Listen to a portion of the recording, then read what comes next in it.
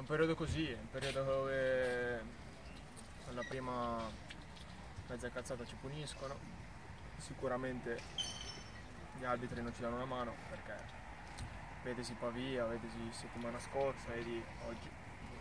Però come ha già detto il mister più volte non si può allenare quello lì, perciò non, non dipende da noi. Noi sicuramente dobbiamo farci un esame di coscienza tutti.